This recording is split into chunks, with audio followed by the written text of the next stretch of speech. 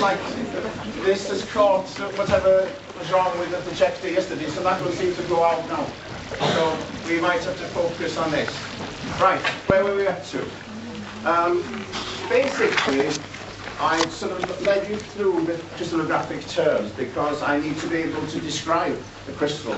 So if I wanted to describe a macroscopic crystal, there's actually a small part of it, a seed part of it, that I could use to describe the whole thing. I don't need to describe every atom because it's just a repeating pattern the same way as a part of a wallpaper is a repeating pattern.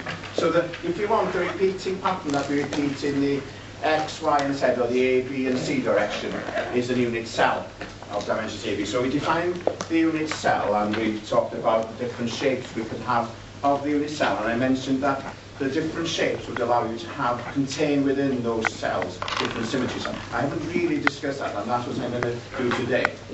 Because the smallest real part of the crystal is really the asymmetric unit. And the symmetry of the unit cell will be applied to that asymmetric unit to fill the unit cell, and then the unit cell will be repeated to give the full crystal. So I'm going to start today by talking about that unit cell symmetry, if you want. You've done point groups last year. Today I'm going to be talking about space groups. Now, the position of the atoms or anything you put in the unit cell is defined in terms of fractional coordinates, that is, relative to the side of the unit cell. And if you think that you could describe a, a molecule in terms of x1, y1, z1, x2, y2, z2, and so on, well, the symmetry, the easiest way I found to think about the symmetry was that it will then reproduce that molecule in position minus x, minus y, minus z in this particular example. So this particular unit cell has got an inversion point relative to the way I've described it there. So the atom goes in at x, y, z, and it will then produce a partner at minus x, minus y, minus z. Now, different unit cells, different symmetries, have different numbers of these operations. But what it means is that the asymmetric is then generated a number of times depending on the symmetry of the space group. A good way to think about this actually is in terms of if you think about a pattern. Um, I don't know if any of you made patterns using potatoes. You, you, you, carve out a little segment and then you print, make a potato print. So you could say, I want to, I can't afford wallpaper and I'm going to make a design. There's my design there. And you say, well, that's my unit cell. There's my unit cell there. I'm going to I'm going to make a potato print out of that and go stamp, stamp, stamp to cover the whole wall. So it's okay, I understand what a unit cell is. But you, you, might say, you might be lazy. I'm a lazy. That's the first quality you need to be a crystallographer. and you might say, well, actually, I can't be bothered to carve all that out. What I'll do is, I'll carve that amount out. Now, if you carve that amount out, you can then go stamp, stamp, stamp, stamp. So your carving takes a lot less time. So that's the asymmetric unit, that part there. That's the unit cell, which is then repeated by translation. So what we're talking about now is the symmetry operations that will generate each of these segments from there. So in this case, the operation would be just a fourfold rotation, which would be defined in terms of x, y's and z's in there. So that's what we're going to be talking about today. I found it, after doing point groups, a big relief to be talking about real things. Okay? In, in, in point groups, you're sort of looking at a molecule almost aesthetically and saying, ah, that's got a mirror, that's got a, a rotation axis. Whereas in this, it's very, very concrete. You put an atom in at X, Y, Z, and the others will then, by symmetry, be generated in the other positions.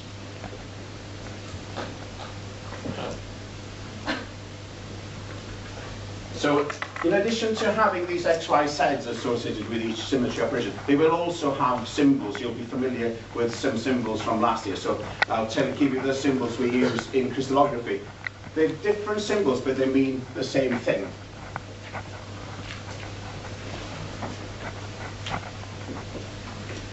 Right.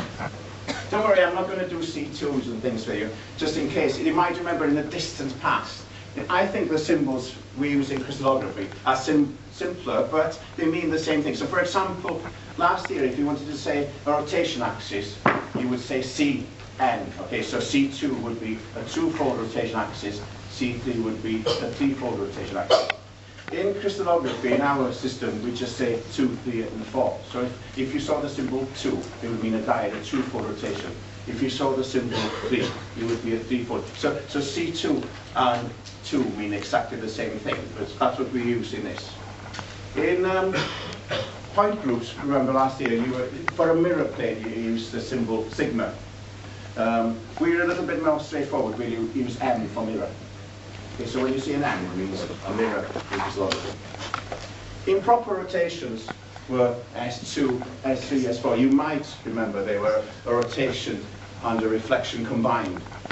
In crystallography, we've got this combined operation. It's actually a rotation and an inversion in crystallography it amounts to the same thing. It would be putting a bar on top of the number. So uh, a, a rotation, um, an S, S3 rotation would be a bar 3 rotation. It means the same thing. There are some new operations which I'm going to go into during the rest of, of, of quite a big part of this lecture now, which you haven't seen before. And the reason for that is that your operations last year, they were called point groups for a good reason. At least one point stayed put. Okay, so they were okay for a molecule because a molecule stayed put. Now we're talking about something that's going to repeat thousands and millions of times to give us the macros macroscopic crystal. So we're allowed, as part of these operations, to translate in a special sort of way. So there will be symbols that you'll see today, 2 with subscript 1. That's a complete symbol, okay? We can't separate the one, little subscript 1 from the 2, okay? It means a 2-1, which is the screw axis, uh, and, and so on to the 3 ones and the 4 ones. So those all mean a new type of rotation, which involves the translation as well. I'll explain it in a second by using 2-1 as an example. And also you'll see symbols a, B, and C, lowercase now, not the large ones where we use to define the, the, the centering of crystal, whether it's primitive, body-centered F, and so on. These are lowercase ones, which you'll, you'll see will occupy a position at the end of the space group. And what they mean is they're related to M, the mirror, but there is also a translation in this. Okay, and, and that's all right. If you're defining a pattern, you're allowed to have operations which repeat as the pattern does. You will also notice that we never have five-fold and seven-fold rotations in, in, point, in space groups, which you can have in point groups, it's not a problem. The reason for that is that whatever pattern we have has to tessellate. I, it's, it, remember we're actually tiling the, the whole crystal. We have to repeat. So if you've got a five-fold rotation or a seven-fold rotation, that won't work. You won't tessellate. You can't have tiles that shape. You can have rectangular tiles. You can have diamond-shaped tiles, you can have triangular tiles, you can have hexagonal tiles, but you can't have tiles which have got five-fold axes and on. They won't fit on a flat plane. Space groups, these operations are combined together in the same way as they would be combined in a point group. Again, I find it's very, very useful to think in terms of x, y's and z's because I can visualize an atom being put in a general position x, y, z and then being put in the three other positions in this space group. So this particular space group has got the symbol PMM2. It's an orthorhombic space group. P stands for primitive, M stands for a mirror perpendicular to the, well, um, along X if you want. The second M stands for a, mirror along Y, and 2 is a two-fold rotation around the Z axis. So, so the, the notation is there, slightly different to your previous notation, but very, very plain. Okay, two, two mirrors and a two-fold rotation. You might actually recognize this from last year. What gave you two mirrors and a, a, a rotation was C2V. So, so this symbol here is the same as C2V from last year. But we've also got those operations there going with it, i.e. The, the, the atomic positions, the fractional coordination uh, uh, positions of the atoms. I'd just like to make a quick little point here at the end here about which I think is quite, quite useful when you're looking at crystals and so on and these operations. If you um, think about mirrors for, uh, for a second, we actually just reverse one of the x, y's and z. So mirror along x would be minus x, y, z. A mirror, mirror, mirror along y would be x minus y, z. So there's just one of the x, y's and z that would be in reverse or a mirror. For a two-fold rotation, two of the operations will be reversed. So you've got a minus x and a minus y, and as, as it's around z, the z stays the same. And there is that goes with this. If you've negated one, we've negated two. An inversion is actually when you've negated all three. So if you've got something that's got a minus x, a minus y, and a minus z, that represents an inversion. So very, very straightforward. If we now look at our crystal shapes, triclinic was the most general shape we had, but because it doesn't have any angles of 90 degrees, we can't have rotation axes in there. So we can either we can only have two space groups which have got a triclinic set shape.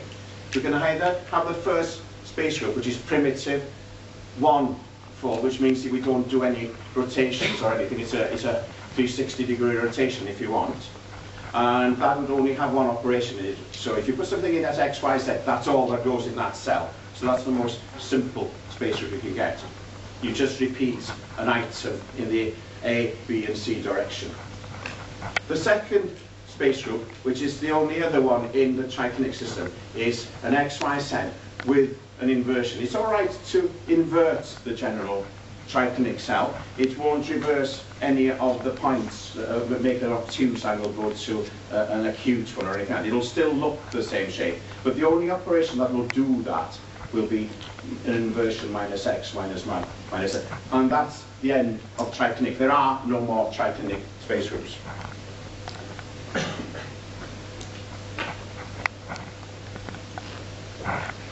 If we go to the monoclinic system, and you might remember that all that does is, A, B, and C don't have to be the same, but we've got to have two angles some 90 degrees now. So effectively it would look like a thick tile if you want to, to have angles on two angles of 90 degrees. So that, what does that do? It allows us to have more symmetry operations.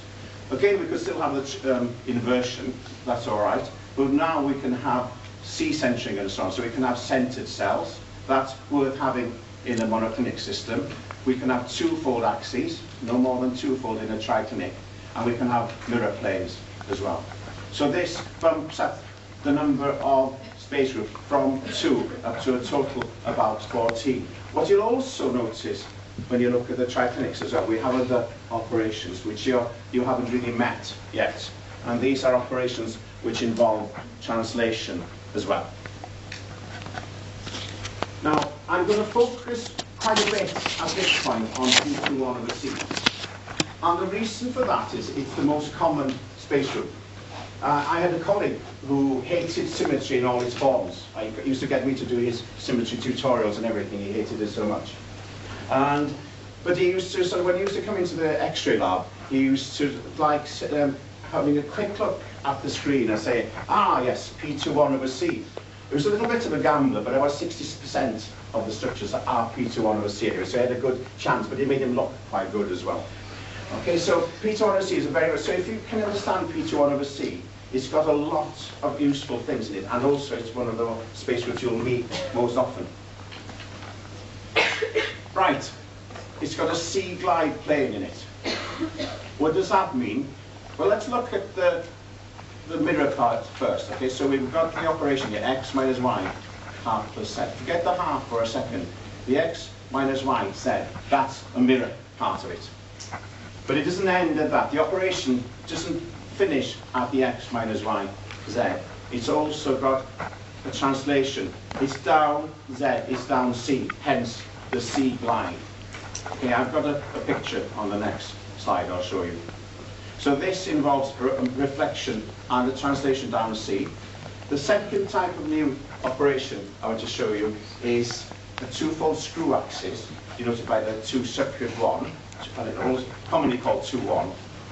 And what this means is, again, you've got your rotation, the minus x and the minus z. There isn't a negation of the y. But if it was just a straight rotation, it would be minus x, y, z. And there's again this translation of half down y. Um, I could probably draw a little bit more out of this at the moment, actually.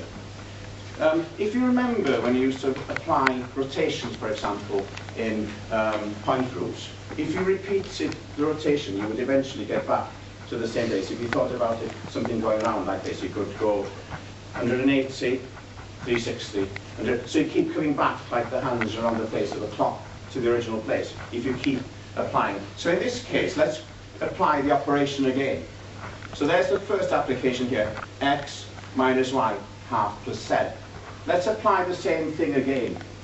The x is still the x, there isn't a, a sign or anything in front of it.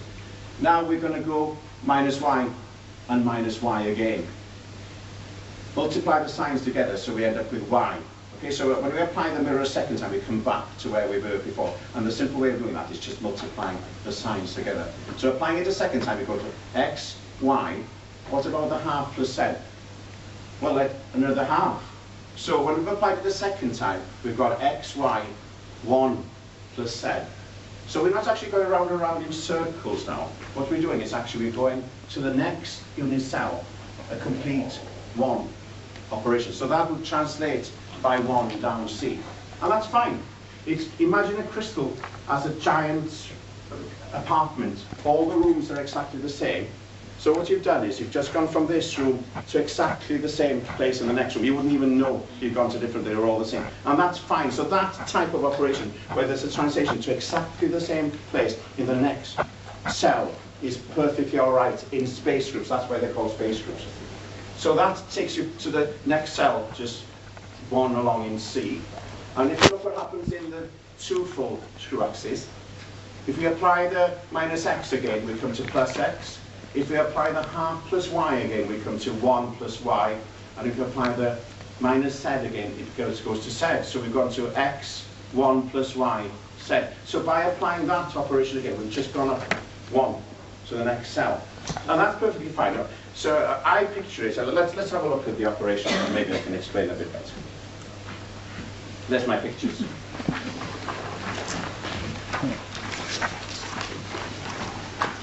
I picture, let's start with the two-fold screw. There's the two-fold rotation where they just go around the pole. In the screw axis, I picture it as somebody going up a spiral staircase. And there's one full turner of the spiral staircase to go up to the next room above. So the little man here would go around and he's halfway up the spiral staircase. If he then completes the operation by doing it again, he'll end up in this position but by one unit cell along, and that's perfectly fine. So that's a two-fold axis. It seems to, compared to point groups, to do something you wouldn't expect to happen, but in fact, for crystals where we want to repeat, repeat, repeat by A, B, and C in each direction, by translating it a full B or a C along there, it's actually B I've got there, it would actually be fine in a crystal. You can translate by a full B, and that's fine. So the, the halfway house would be uh, a B over 2 here, and then just apply it again. So that's perfectly fine. That's a two-fold screw up. It's a 2, 1, 2 subscript 1. And the, the first operation I gave you was a mirror combined with a translation. So if we apply the mirror, obviously it's just going to go, in, the, in this example here, it um, goes from x, y, z to x minus y, z. If we now turn that into a C glide, the operation will go again x minus y, z, but he would actually then add a half z to it. So that would be x minus y half plus z. If we then apply it again, the man would come back to this side and he would move on to there, which is just one c along, and that's fine. So we've got these new, new operations now, a, a two-fold um, screw axis. Is the, um, there are three folds and four folds, but if you can understand this, it would be great. And then there's a C glide, I've given you as an example here, there's B glides, A glides, and there's even diagonal glides, but all the same principle. P2 over C is by far the most common space group.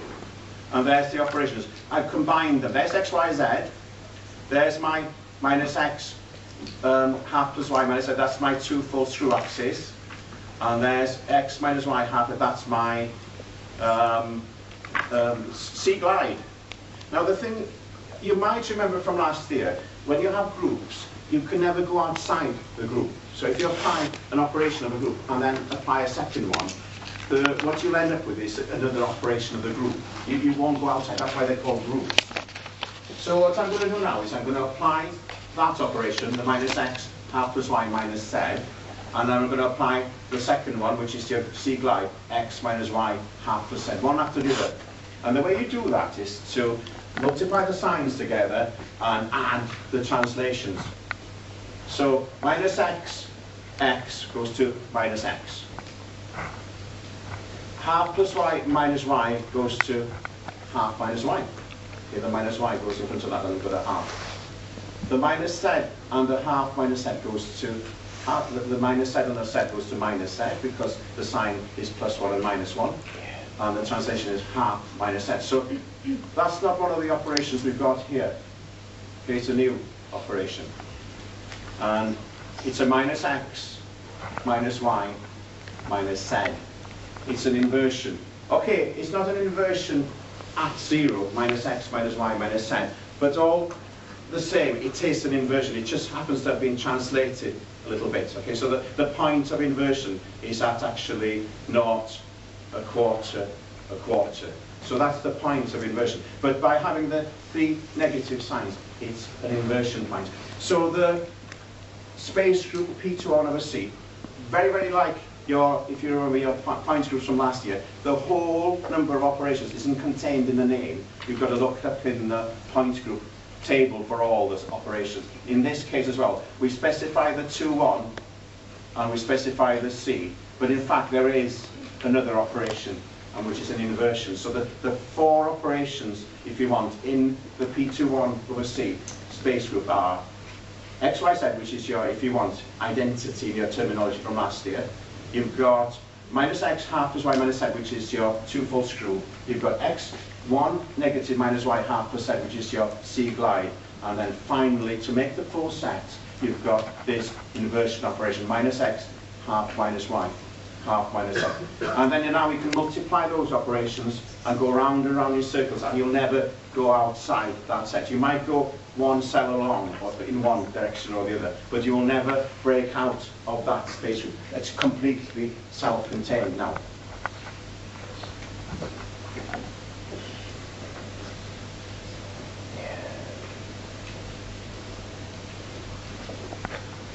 We've only got 200, that sounds quite a lot, doesn't it? But the, the fascinating thing to me is that every single crystal structure we know, every crystal structure we will ever know, every single crystal structure in the whole universe that anybody will ever know will have to belong to one of these 230 space groups. Okay, that, that's if you want the pattern for every single crystal that will ever be known. There can never, never be a, another 231. So, so if you want to get your Nobel Prize, don't bother. There isn't going to be a 231 anyway. Okay, so they're completely contained in this.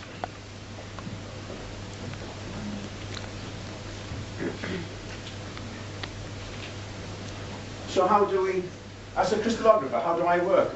Well, you might think from, from last year, we just pick up molecules and try and assign symmetry to them. We don't. The symmetry is something we get actually before we know any molecules at all. Okay, the first thing we find out about a crystal when we put it on the diffractometer is its unit cell, the A, B and C, alpha, beta, gamma. So that's the first thing we get.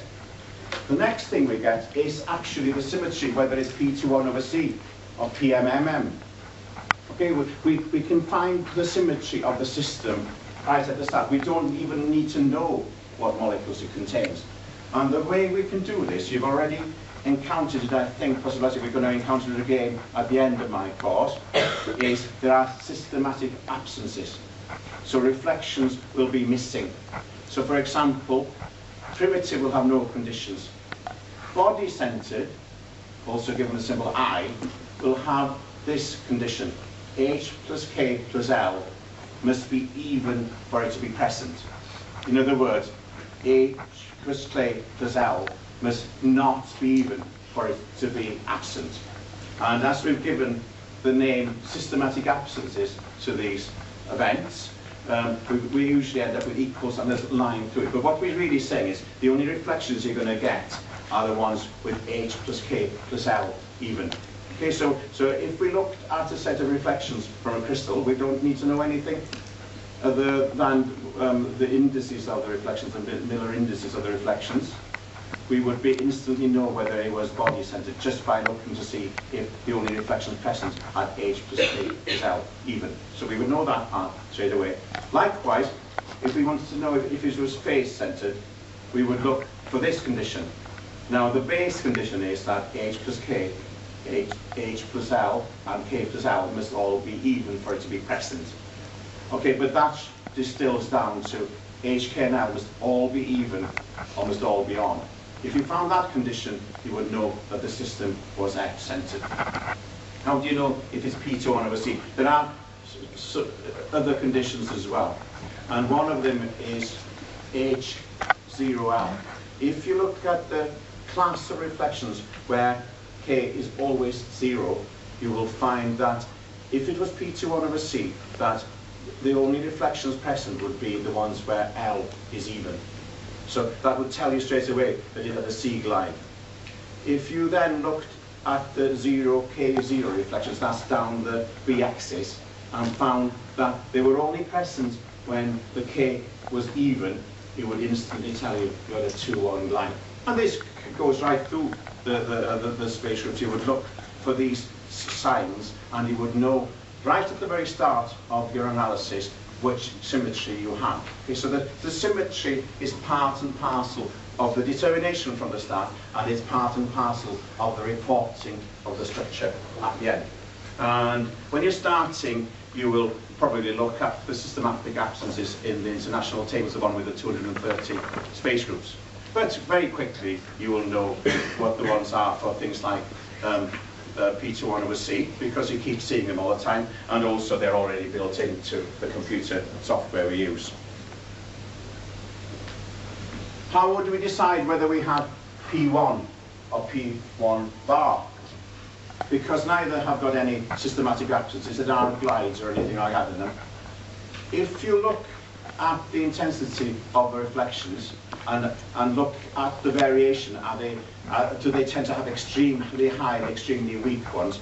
That will tell you whether you've got an inversion center. The ones with inversion centers tend to have extremely high ones and extremely weak ones, more than ones which haven't got an inversion center. So we know that. So all you've got to do is do a statistical analysis.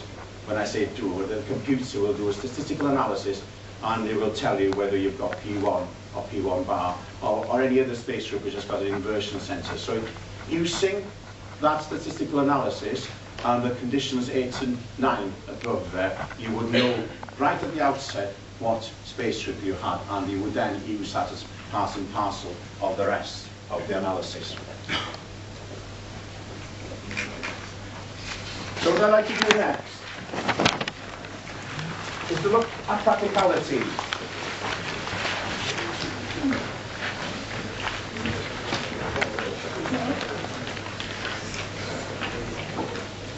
So, so this is just what we do upstairs in the X-ray lab, and what the machines do up in the X-ray lab. So we know, I've given you all the terminology I'm going to use in crystallography now. I am going to give you, or discuss some equations with you after I've done this in the next lecture. But for now, I'm going to, you know all the vocabulary and the concepts I need you to know. So I'm now going to just tell you about how we actually go about measuring. So determining a single crystal structure the most important step is growing a crystal. If you don't have a crystal, you can't do any of these other wonderful things. Okay, so the number one step is growing a crystal. Um, I particularly like this technique. You, you will all know how to grow crystals. You will all have crashed some crystals out sometimes, but um, sometimes you will do, do it by evaporation. You might even um, do it by cooling. So those are sort of standard methods of growing crystals particularly if you've only got a small amount of material. It, it gets a little bit tricky then. So this technique is particularly useful. And effectively, it's a relation of when you crash something out with an anti, what we call an anti-solvent, something the material doesn't dissolve in. So you dissolve the, the material in something which is highly soluble in, and then you could then get a second solvent, which you tip it in, which is effectively a non-solvent if you want, and everything crashes out and you end up with a, a, precipitate. But of course, we want a bit higher quality crystal than that. So, so this technique allows you to do the crashing out in a very, very gentle way. You put the material you want to crystallize out in a solvent is soluble in. That's the red solution in my picture there. And around that, in a larger container, you put what we call the anti-solvent. You don't tip it in, you're very, very careful not to do that. But what happens then? The vapour in here fills with your anti-solvent. If you pick the right combination, of course, if you pick the wrong combination, the solvent that the red, the red solvent there will leave and go the other way. So you must pick the right combination. So if you pick the right combination, what will happen is the, the inside of the container will fill with vapours of your anti-solvent will gradually work their way into the inner container. And over a few hours, you'll find that that level will rise, and then you'll end up with nice twinkly crystals around the inside the container. And that's fine, and that'll be great, because that then will then open the door to do the rest of the work. So if you can grow a crystal, you can then go on to the next step. Uh, I should possibly at this point explain that what I mean by a crystal. Um, you, you probably wouldn't be able to see the crystal with your naked eye. The, uh, the, the normal crystals we use are no bigger than a quarter of a millimetre. The reason for that is the X-ray beam is no bigger than a quarter of a millimetre, smaller than the laser pointer on here.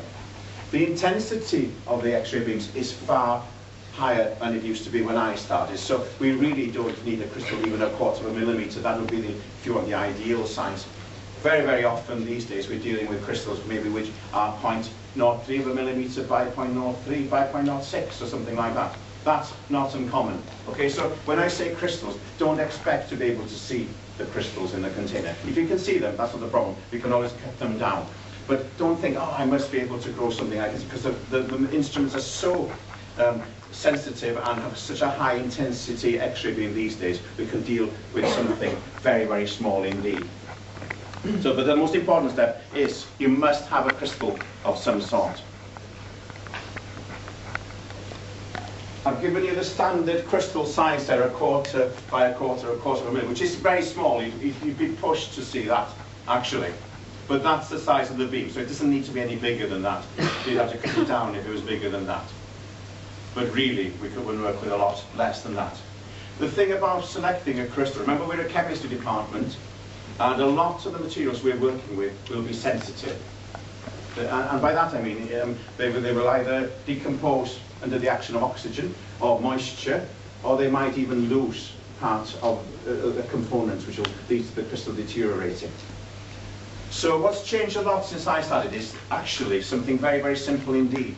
We immerse the crystals these days in an inert oil. And that protects the crystals from the atmosphere and stops the crystals losing their solid. So that is actually made a huge, huge difference to how we can work. So what it means is that we can get a crystal, we could protect them in a glove box, we can actually even protect them under uh, an inert atmosphere. But at some point we must be able to inspect them and pick the crystal using a polarizing microscope. So we insert, immerse them in this oil and that will give us the minutes we need to select the crystal. So very, very important. If we then view them under a polarizing microscope, that's a fantastic instrument for seeing faults and cracks. Okay, so the important thing about this technique is we must have a crystal, but it must be as perfect as possible. If it's too crystal, it won't work. If it's a crap crystal, it won't work. Okay, so we must have as perfect a crystal as we can get. And that means we look at it using a polarizing microscope under cross polarizers, and that will highlight any blemishes in the crystal. Once we spot our crystal, we can then fish it out and keeping it covered in the oil. Okay, so where does the crystal end up? Well, that's my attempt at drawing the goniometer head. But basically, the crystal is that tiny little blob on the end of the fibre there. We, use a glass fibre. So, so where, where, would that crystal have come? It would have been under the microscope in this oil. I would have then got my goniometer head, which is this part I've drawn here. This, that's the real thing there. It's a little bit smoother than what I've drawn. Okay, so, so the little fibre would be used to fish out a crystal and then it would be screwed into the diffractometer there. Um, the, the goniometer head has got screws on it so I can adjust, so I could screw that way, this way, that way, so to get the crystal centered on the diffractometer. Now, coming down from there, there's the nozzle, and that's blowing gaseous nitrogen, okay, so completely dry, towards where the crystal is sitting in the fibre. That will instantly freeze the oil. It's an oil, so it doesn't diffract, okay, it doesn't have any regular order. So if you want, it's a bit like a toffee apple. So your crystal is picked up on the fibre, sitting on the end of your fibre, we screw it into the diffractometer and instantly it's coated by a dry, in, uh, in, in a coating of oil and then sitting in a stream of dry nitrogen. So even the most sensitive materials will survive that. Okay, they're cooled down. The temperature is 100K, minus 173. There are other reasons for cooling it down, but one of them is to protect the crystal and encase it in this solid. Um, well, it'll act like an adhesive as well and keep the crystal rigid on the end of the fibre. The X-rays come out of that fine collimator there, so it will come out as a very, very fine beam, probably as fine as my laser pointer here. And then most of the X-rays then would get caught in that thing that's hanging down there. That's called a beam stop. And the reason for the beam stop is that if we didn't have it, the X-rays would strike the detector with their full force and, get, and, and bleach out the middle of the detector. So most of the X-rays go straight into that beam stop there. So the crystal now is sitting, once you've adjusted it, right in the path of the X-rays there, you adjust it with a video camera, which is part of the instrument. Where is it? I put it down as a telescope there. It's actually a video telescope. So I've got it, the image of the crystal on a little TV screen, and then I can adjust the position of the crystals using these little screws here, which will then put the crystal right in the center of the instrument, where the X-rays travel across there, and then with any scattered X-rays, any diffracted X-rays will then be picked up on a screen here, which is a relatively digital camera. So once we've closed the X-ray proof doors, we can then turn the X-rays on and we can record an image. Like, okay, so it's, it's very similar to the one I showed you before with my film, which was recorded many, many years ago. We've got this bit hanging down here is the beam stop to stop the X-rays damaging the detector, which is quite expensive. It's about the best part of £100,000. And then we've got then these spots, and the, it's actually a negative version of the one I showed you on film. We can pick to have it any way you want. It's a CCD image. The big difference is that was recorded in probably 20 seconds. And then it can rotate the crystal a little bit more and record another one. And rotate the crystal a little bit more and record another one. So it can do all this automatically. Whereas before, once I'd exposed my film, I'd then go to the dark room and develop that and then put some more film in and so on. So it speeded things up by about 100 probably during my photographic skills. Okay, so, so why do we want to go to all this trouble with a crystal by sticking it on in their fibre and then putting it in the middle of a diffractometer? The diffractometer, by the way, is a robot. Here's a schematic representation here.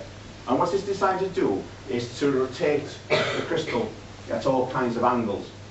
And the best way to think about that is, imagine a crystal plane. Just pick one. Okay, so it would be, I'd have a mirror in my hand. And I want to, I've got a light, an intense light, or it could be the sun, I suppose. And I want to shine it in your eyes over there. So I need to have uh, the ability to manipulate this crystal to move it around. So I can bring this crystal plane into a reflecting position, to diffracting position. So this instrument costs about 150 to 200,000 pounds. It's designed to do that very, very precisely because it tips the crystal to all kinds of angles. So that's why it's quite as complicated as it is.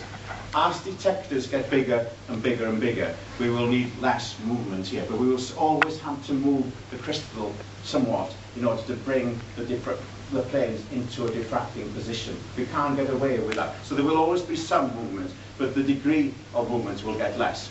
So the instrument we've got at the moment is known as a four-circle diffractometer. It's got a detector two theta motion.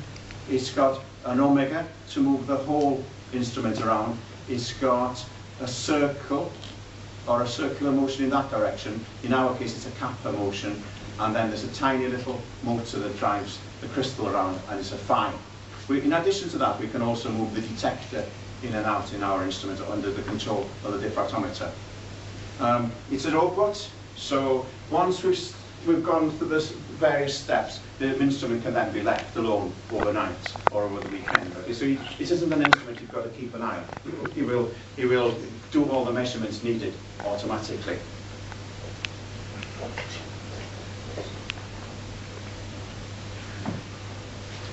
Okay, so I've said that, I think so I don't need to repeat that. But the crystal is cooled down. You can read that afterwards. We, we cool the crystal to protect it.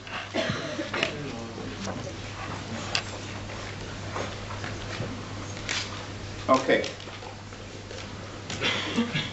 Once we've got those reflections on the screen, we've got a, a, a program which harvests the position, the reflections. Okay, so the reflections are harvested off the screen, and what that gives us is the angle of diffraction of each of those reflections on the screen. Because the instrument, remember, it derives the motors very, very precisely. It knows exactly the position to a tiny fraction of a degree of all the angles of the crystal. If you then take that with the position on the CCD screen, it can then combine those to give, uh, if you want, the angle the reflection was leaving. Okay, so as soon as the thing is reflected, it goes onto the screen and say that was at, I don't know, 30 degrees to the horizontal and north by northwest or whatever. Okay, so it's got all the angles for the diffraction. So all those are stored on the screen. If you've got those angles, there's an algorithm that will give you the unit cell, easy peasy. Okay, so you don't have to, I, I will give you how to get a cubic unit cell out of a powder. We'll do that later on. But for this instrument and a single crystal, there's an algorithm, provided it's a single crystal, will give you A, B, C, alpha, beta, gamma, just like that.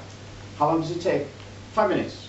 Okay, so if you get a crystal on the diffractometer, five minutes later, you will have on the screen the unit cell. You can compare that with known unit cells if you wish, um, uh, and check whether it's a known structure. But really, we're talking a very short time. The, the algorithm that works out the unit cell from the angles of the reflection is very, very efficient.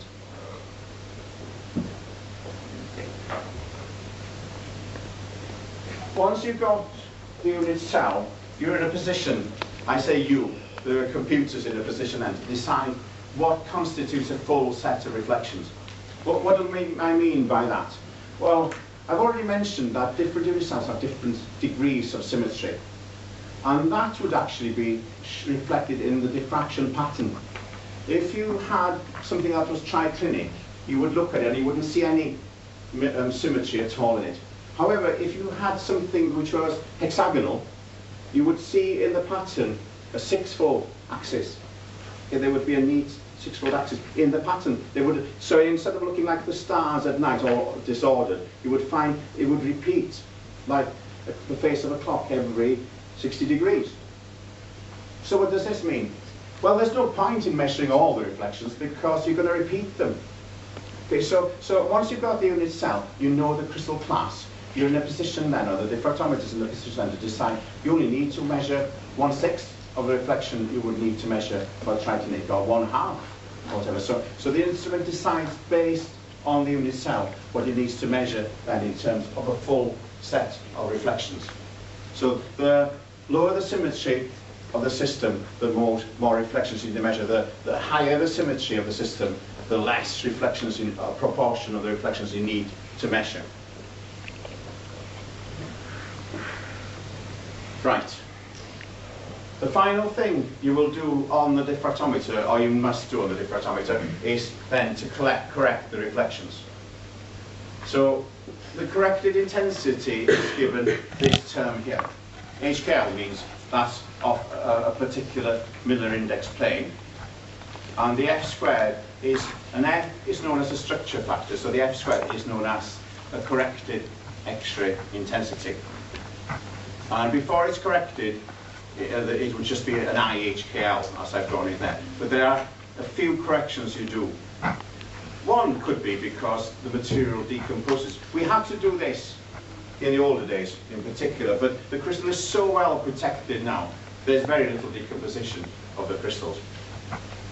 You would also correct for absorption, which I'll say a little bit more about now, and also what's known as the Lorentz and polarization correction.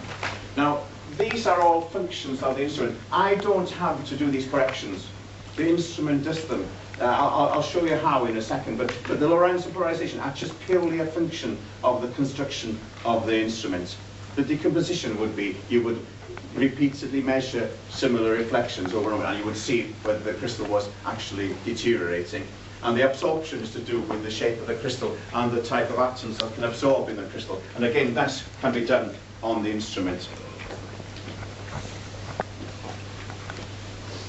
Okay, so this is just giving you the terms, which I've just given you. I, I is the raw intensity before it has corrections, and then F is known as the structure factor, and obviously the, the modular. Um, well, I, I won't go into that at the moment because I'm going to go into that more later on.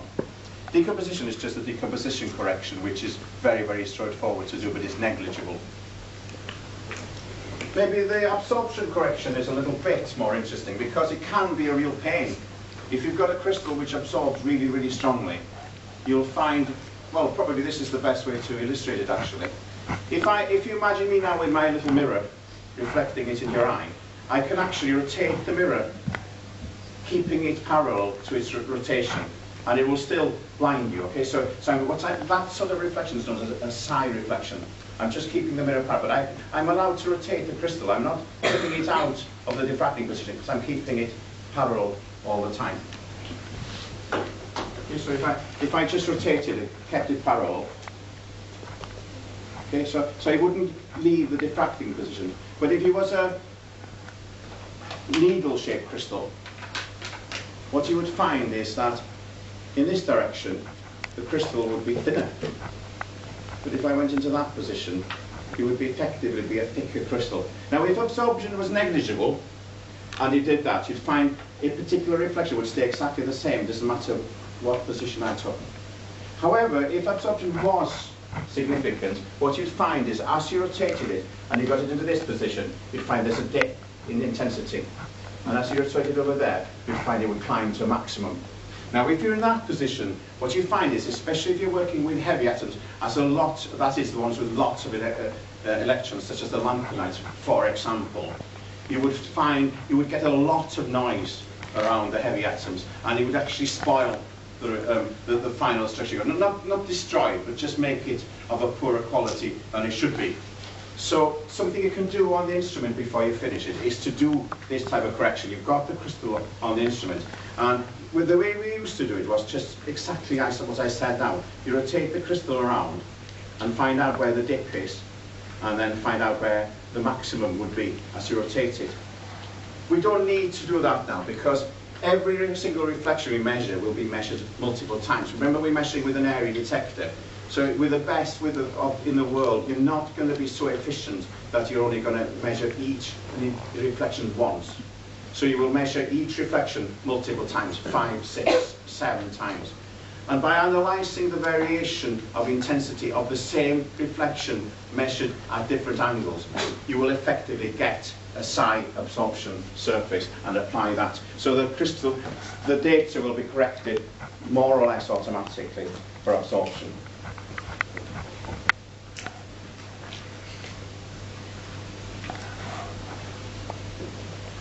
The other one, which is applied automatically at the end of a data collection, is Lorentz and polarization. The polarization is because in order to get monochromatic X-rays, we actually bounce them off the surface of a graphite crystal, which acts like a diffraction grating. So we've already bounced them off one surface, and everybody knows, anybody who's had any Polaroid glasses will tell you that if you look at the surface of water with Polaroid glasses, you can see into the water. Whereas if you don't wear them, there's glare. And the reason for that is, if you bounce something off a surface, you will partially polarize it. So that's what happens here. So we, we bounce the crystals initially off the surface of a graphite to monochromate them, and then they partially polarize, and then they will be then bounced off the crystal. And in the same way as polarized glasses, if you rotate them around, will give you maximum and minimum intensities these will do the same thing. You don't really want to have that error in your data, but it's a purely a function of the instrument design and the circle positions. So that can be calculated very, very easily as part of this correction procedure. And the last one, the Lorentz, correction, is basically to do with how long a reflection is in position. Some reflections will stay in position for a long time as the crystals rotated, especially if they're parallel to the beam like that. Others, for the same rotation, will just twinkle in and out. Okay, so uh, again, the, the, all this is known to the software that's controlling the diffractometer, and that correction will be applied. I've never, never in my life applied the Lorentz correction personally. Okay, it's all done by the software that controls the diffractometer. But they're, they're completely predictable, and they will then give you higher quality reflections. Finally, you apply the space group by looking at the systematic absences. The data collection is finished, and so we are we for today. Thank you very much.